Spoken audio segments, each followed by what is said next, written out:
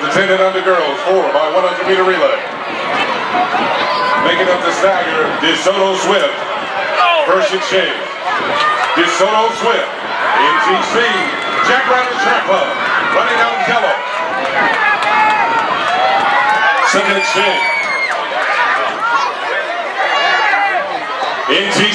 Go Claire! Jackrabbits on the outside.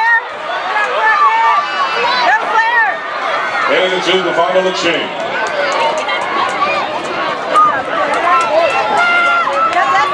The final exchange, NGC Jackrabbits, DeSoto Swift running third, followed by Cedar Hill Blade.